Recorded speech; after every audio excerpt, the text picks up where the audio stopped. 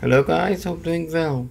This is CD4017, one of the best electrostatic detector.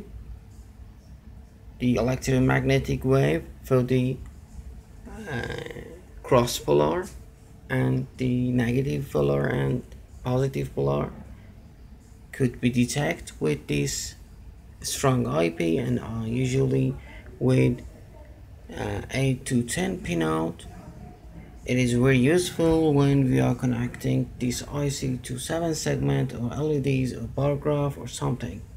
Uh, I uh, programmed and I soldered this IC as EMF detector and you can see when I'm going to make close this project to the power outlet to power uh, key you can see that I have activities with LEDs.